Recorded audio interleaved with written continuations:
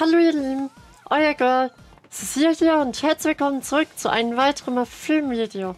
Heute eine weitere Top 10 List und zwar 10 Düfte, die mich extrem glücklich machen. Wichtig zu erwähnen ist, wenn du irgendwie schwere Zeit durchmachst oder so, dann werden die Düfte dich wahrscheinlich nicht sofort glücklich machen. Aber können trotzdem Stimmung geben und den Vibe verändern. Und naja, es gibt ja das Sprichwort. Wenn das Leben dir Zitronen gibt, mach verdammt nochmal Limonade raus. Und so nach diesem Sinne ist auch das Video gestaltet. Von daher, ja, lädt euch zurück, nehmt gute Laune mit und genießt die Show. Platz Nummer 9 geht an Victor and Rolf. Ich hätte auch Flowerbomb nehm, nehmen können, das macht auch gute Laune, aber ich habe mich für das hier entschieden. Bonbon, alles was das Mädchenherz begehrt. Wert das Original, nimm zwei Bonbons, in verspielt, in girly, in süß und ach, ein bisschen Blumen noch dabei. Es ist einfach schön. Es ist einfach schön. Ich muss es jetzt mal sprühen. Ah. Ja, am Anfang kriegst du tatsächlich so einen zwei Bonbon. Orange, Mandarine, richtig schön fruchtig und einfach nur lecker. Und später settelt sich das so ein bisschen in den Kristall. Karamell, Werthers, Original. Und ja, mit so einer hölzernen Basis. Jasmin Amber natürlich auch im Start. Für die gewisse Weiblichkeit, für die Sexiness. Haben ja viele Frauen parfümt, diese Kombo. Ach, das ist so schön. Das macht einfach so eine gute Laune. Ey, die sind im zwei Note am Anfang. Dann später süßes Karamell, wo man sich reinlegen kann. Es ist, Leute, es, man kann es nicht hassen. Man kann diesen Duft nicht hassen. Haltbarkeit zwei neun Stunden mit einer starken Mittelmaßjagd. Cooler Duft, echt. Und ja, es soll ein Bonbon sein. Ich dachte früher mal, es wäre so eine Schleife. Aber es ist ein Bonbon. Platz Nummer 9 geht an Carolina Herrera. Very good girl glam. Leute, dieses Parfüm, ne? Ich liebe es. Ich liebe es wirklich. Ach, das ist, das ist einfach so. Du machst einen Beauty-Tag, hast dir jetzt so vorgenommen, lässt dir die Nägel machen, gehst ins Spa, lässt sich irgendwie eincremen, lässt dir gut gehen. Machst einfach so einen richtig schönen girly Tag mit diversen Beauty-Aktivitäten und so riecht das halt. Hier ist so eine Rosenwassernote drin, die einfach nur nach Beauty riecht. Es ist ein Traum. Unterstützt wird das Ganze von ein bisschen Kirsche, von ein bisschen Mandel. Jetzt denkt aber nicht, dass es Guerlain La Petite Robe Noire ist. Das ist so ein süßer, schwerer Duft ist. Nee, das Rosenwasser, diese Beauty-Note, diese Schönheitssalon-Note, die ist hier im Vordergrund. Wenn ein bisschen Vanille unterstützt noch. Sehr, sehr schön. Ich liebe es. Also das ist das beste Carolina Herrera Parfüm. Bei weitem. Da brauchen wir gar nicht diskutieren. Das ist bei weitem das Beste. Und das riecht so schön. Es riecht so schön. Wirklich so richtig feminin. Du hast alles im Griff. Du lässt dir gut gehen. Du hast heute einen schönen Tag. So riecht das für mich. 13 Stunden Haltbarkeit mit einer starken Siage. Ich liebe es wirklich. Very good girl. Glam. Platz Nummer 8 geht an das meistverkaufteste Parfüm für Frauen bei Amazon. Zwar Nivea Sun. Jetzt sind wahrscheinlich einige überrascht. Hä, Nivea Sun auf Platz Nummer 8? Weiß ich, wenn es so richtig heiß ist und ich hasse ja Hitze, ne, hab keinen Bock dann irgendwie rauszugehen, hab keinen Bock Videos zu machen, hab keinen Bock mich irgendwie hinzuflitzen, weil es viel zu heiß ist, man hat keinen Bock auf nichts, aber dann sprühst du Nivea Sun und dann bist du gewappnet, das ist wie so, ein, wie so eine Ritterrüstung gegen Sonne, weil ganz ehrlich, es riecht so leicht abkühlen, du hast Sonnencreme-Vibes, gute Laune im Flakon. Ich weiß nicht, warum Sonnencreme, diese Nivea Sonnencreme so glücklich macht.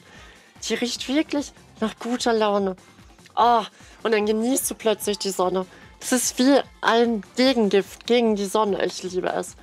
Es riecht so schön. So schön. Grünnoten, so ein paar pudrige Noten, Blüten. Aber im Grunde genommen riecht es wie typische Nivea Sonnencreme. Oh, es war, es war wirklich gute Laune. Ihr merkt es, ne? Ah, ich kann es wirklich nur empfehlen. Und dafür, dass man so ein Drogerie für 20 Euro kaufen kann, 8 Stunden Haltbarkeit mit einer starken Siage, kannst du dich nicht beschweren. Wirklich. Und wenn es Winter ist und möchtest Sommervibes haben, minus 5 Grad draußen und du beschwörst die Sonne, einmal summern. Oh nein, möge der Sommer mit dir sein, wirklich. So schön, wie wir das haben. Platz Nummer 7 wird auch wahrscheinlich viel überraschendes neues Parfüm meiner Sammlung. Eins meiner neues Parfüms. Und zwar, jetzt kommt eine kleine Story. Ich hatte Warenkorb irgendwie auf ähm, 90 Euro. Für 100 Euro gibt es halt den Versand umsonst. Und denkt man sich natürlich als Girl so, Girl Marv, okay, jetzt kaufst du einfach was, was du nicht haben möchtest, nur damit du den Versand nicht bezahlen musst. 5 Euro kostet der Versand, hab mir so gedacht, okay, knapp über 10 Euro ausgeben, gut, dann musst du theoretisch ja noch 7 Euro mehr bezahlen für was, was du nicht haben möchtest, aber vielleicht ist ja trotzdem cool. So hat man die Chance, es günstiges auszuprobieren, ohne sich dann irgendwie schlecht zu fühlen. Meine Wahl viel auf Police. Police to be woman. Ich weiß, der Flakon ist übelst edgy, übelst cheesy. So ein Totenkopf ist ja gar nicht so mein Vibe. Bin ja kein Gothic Girl, ne? Ihr seht mich ja. Ich stehe zwar auf diese dunklen Düfte, diese Gothic-artigen Düfte, ne? Black Orchid und so, aber. Nee. Totenkopf nicht mein Vibe. Aber der Duft, ich habe nichts erwartet. Ich habe negative Reviews dazu gesehen. Alle haten das Parfüm. Ich denke mir so, okay, gut, hast du halt jetzt 12 Euro oder was das gekostet hat, weggeschmissen. Dann ist es so. Aber du hast einen Police-Duft, hast ein Negativbeispiel und irgendwie lustig mal so einen Police-Duft zu haben mit einem toten Kopf, wenn er da so rumsteht. Ist irgendwie lustig. Habe ich auch Spaß gekauft. So. Ich habe nichts erwartet. Meine Erwartungen waren nicht hier. Die waren ganz unten im Keller. Ich sprühe einen Duft. Und ich war begeistert. Day One. Das war Liebe auf den ersten Sniff. Das ist so richtiger Cecile-Duft. Ey, gute Laune, garantiert. Ey, das ist so ein cooler Duft. Holt euch den. 175 Milliliter, äh, 125 Milliliter. Irgendwie 13 Euro oder was bezahlt habe. So geil. Wie riecht der? Du hast einen richtig frischen Apfel und zermahlene Unlimette und zermahlene Karnevalsbonbons. Ich komme aus Kaldorf ursprünglich. For whatever reason wurde in Kaldorf, in so einem kleinen Dorf mit 1200 Einwohnern, Karneval gefeiert. Nach dem Kölner Vorbild haben sich die Dorfbewohner dazu auserkoren, irgendwie Karneval zu feiern. Auch richtig mit Umzugswagen, Kostümen und so. Und die haben immer so billige Bonbons geschmissen. So. Billige Fruchtbonbons. Und genau so riecht das. Stellt euch vor, ihr zermalt diese billigen Fruchtbonbons. Habt dann noch so eine zitrische Note wie Sprite. Sprite mit Bonbons. Und dann die Farbe. Es ist Lean. Leute, es ist Lean. Das, was die Rapper immer trinken. Codein und Promethazine. Die machen doch irgendwie so Hustensaft in Sprite. Oder, äh, und zermahlen Bonbons, Candy und da hat das diese Farbe. Gut, es riecht jetzt nicht nach Hustensaft, aber stell euch wirklich vor, Sprite mit Bonbons. Quasi das Lean-Parfüm, ey. Es ist so geil. Es ist so geil, wirklich. Fruchtig, bisschen sauer, weil das ein grüner Apfel und dann Limette und dann Süßigkeiten. Bisschen begleitet von blumigen Noten. Wow, ist das ein geiler Duft, wirklich. Ich, ich meine das jetzt voll ernst. Ich meine das voll ernst. Alle haten den. Ich finde ihn voll geil. Finde ihn richtig gut. Macht so gute Laune. Ist wirklich so die Kindheit, wo keine Sorgen hat, dass Du sammelst da wie so ein Hund sein Stöckchen die Bonbons auf und dann, dann isst du die Bonbons und bist einfach glücklich, dass du ein paar Süßigkeiten hast. So riecht dieser Duft so geil, ey. Sieben Stunden Haltbarkeit für den Preis. Ist okay. Ist okay. Siage ist im mittleren Bereich. Also sehr durchschnittlich, aber ich finde den Geruch so toll. Es riecht wirklich nach diesen billigen Bonbons, wenn die zermalzt und einen Duft packst. Boah, ich liebe es. Police to be woman. König der gute Laune Düfte ist eigentlich nur einer und dieser Name ist Mark Jacobs. Platz Nummer 6 dort von Mark Jacobs. Das finde ich der letzte Mark Jacobs. Ich hätte auch Daisy reinnehmen können, aber wartet's ab. So, dort. Dieser Duft. Mmh. Der ist so cool. Rote Beeren, Drachenfrucht. Einmalig in diesem Parfüm, wenn mir irgendein Duft der Drachenfrucht hat. Und das hat so eine ganz besondere tropische Komponente, die einfach ein Lächeln auf dein Gesicht zaubert. Kokoswasser, sehr tropical, dann noch Treibholz, so salziges, meeresartiges Holz und Vanille. Gute Laune Vanille, kombiniert mit den Früchten, sind Tropical Vibes, den tropischen Holz, Kokoswasser. Es ist ein ganz toller Duft. Wirklich. Als wär's mit guter Laune auf einer einsamen Insel gestrandet. Es ist keine schlimme einsame Insel. Das ist eine einsame Insel, wo du den ganzen Tag Spaß haben wirst. Wo du nicht in Gefahr lebst. Wo die ganze Zeit was abgeht. Oh, ich liebe es. Mark Jacobs dort. Ganz toll.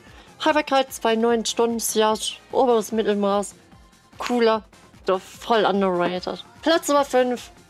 Die Queen der Gourmand-Düfte. Sochi Rosa 62 von Sol de Janeiro. Oh mein Gott. oh, da kriegt man einfach wirklich so gute Laune, ne? Das ist einfach eine Command-Explosion. Da möchte reinbeißen. Ich möchte da echt reinbeißen. Ich wünsche, es gäbe das hier zum Essen. Sol de Janeiro, macht das doch als Speise. Das wäre das beste Dessert auf diesem Planeten. Du bekommst du Pistazie, Mandel, Salzkaramell, Vanille und ein bisschen Sandeholz zur Abrundung. Heliotrop gibt den ganzen auch so eine kirschige Note. Das ist so eine Gourmand-Explosion. Pistazie, wie so ein Pistazie-Eis, dann noch mit Mandel und Vanille. So richtig schwer und süß. Manche sagen, ist so Sommergourmand. Ja, kann man auch im Sommer tragen. Ich finde gerade im Winter ist das so schön. Es macht einfach glücklich, weil es wirklich riecht wie ein Snack. Und wenn du so einen Snack vor dir hast, der so riecht, dann kannst du nur glücklich sein. Das ist das ist eine Explosion von den Gaumen, ey. Das ist ah, so lecker. Es riecht so lecker. Wirklich. Sieben Stunden leider nur die Haltbarkeit. Aber ja, starke Mittelmaß, ja. Cooler Duft, wirklich. Queen of Gourmands. Wer Gourmand-Düfte liebt, wer es super süß, ultra süß mag, go for it. Platz Nummer 4 geht an Montserrat. Tonka Cola. Ha, der ist Chupa Chups Lutscher aus meiner Kindheit, wirklich.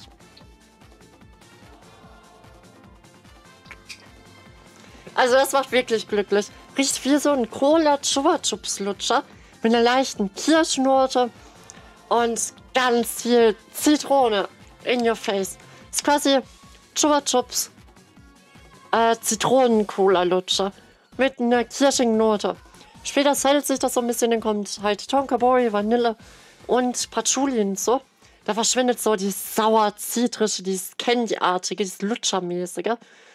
Und dann wird der Duft ein bisschen schwerer, ein bisschen süßer und weniger synthetisch. Am Anfang ist er sehr synthetisch, aber macht einfach gute Laune. Zitrusfrüchte heben sowieso die Stimmung, macht gute Laune und einfach, dass es so riecht wie so ein Chupa Cola Lutscher. Es ist amazing. Es ist amazing. Es bringt dich zurück in die Kindheit und wie gesagt, in Kindheit, wenn mir ein Kind, was irgendwie Sorgen hat, außer, gut, es gibt immer Einzelfälle, wo es Probleme in der Familie gibt, aber so, Otto Normalverbraucherkind hat halt keine Sorgen, hat Spaß an allen und hat dann den Lutscher und so riecht das. Also ist so cool. Hm, das ist so cool. Wirklich, mit ein bisschen Zimt noch. Tonka Cola.